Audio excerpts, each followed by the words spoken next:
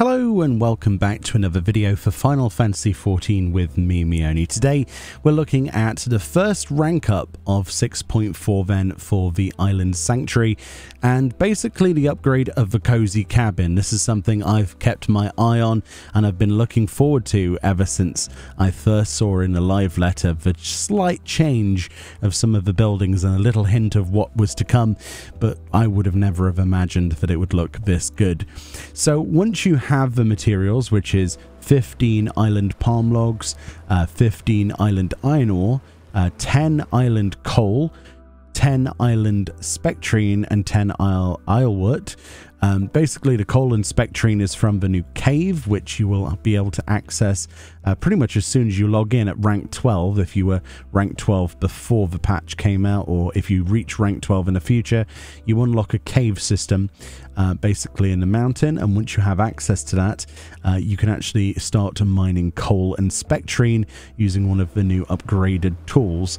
Uh, once you've got um, those materials and you talk to your cozy cabin, which is the first building you can upgrade, your entire area will change, as you can see. So the cabin itself turns into probably one of the most beautiful things I have ever seen. I never expected it to look this good. Honestly, it's just it's incredible. There's like a greenhouse thing going on. It becomes two floors. The beds move upstairs. There's a guest bedroom as well as a normal bedroom. There's like little fountain, footpool, sort of spas downstairs. Um, the mammets have their own desk with lovely screen shields. There's a lovely like um, swing seat. There's all sorts of things to sort of look at and see. And as much as I, you know, said earlier in another video, it would be nice to have housing items for indoor spaces. I think it means even more now because these spaces, whilst quite well furnished, would be even better with the ability to place indoors items. But you know, all good things come to those who wait and all that. So as you can see, the bedrooms upstairs are fully lavish now. There's lots of furniture in here, uh, including bed, plant pots, a side dresser, sort of like a carpet bit, like a rug, a beautiful balcony view on both sides. This one overlooking my little little fairground area, my little shopping centre. I love the little uh, details on this. Oh, look at the moon shining through that glass. Isn't that beautiful with like all of the foliage coming through like a proper greenhouse and then all the lights? I'm so glad I recorded this at night. It really gives you a better sense of, what this is supposed to feel like. And the little planter in the middle there with flowers. Yeah, this is just, it's just, it's just too good, isn't it really? Just way too good. And uh, yeah, but not only does it just change the cabin, it changes the area around.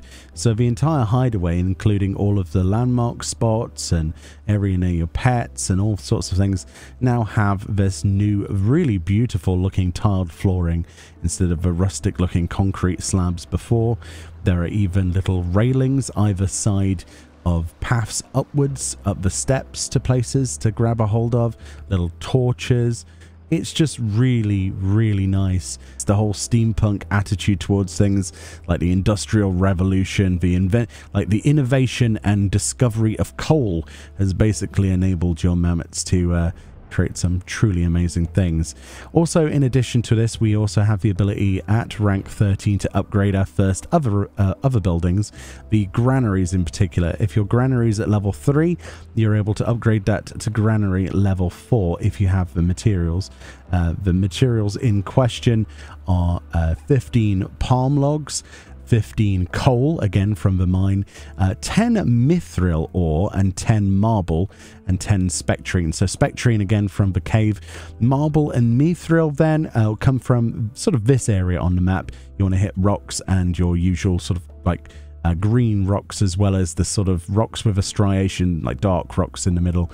Uh, those will give you the marble and the green ones will give you the mithril ore get enough mats and you can start renovating.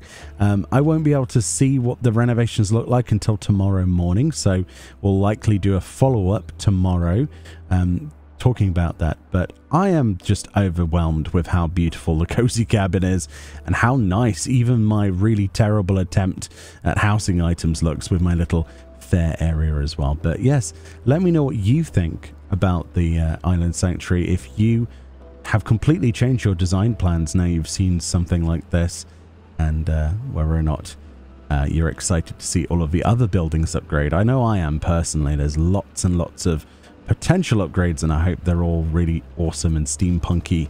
And uh, if I remember correctly from one of the live letter slides, one of them looked a little bit like the Crystarium, so I'm expecting lots of glass as well. Lovely stuff. Anyway, much love. Until tomorrow, I'll see you all next time. Bye-bye.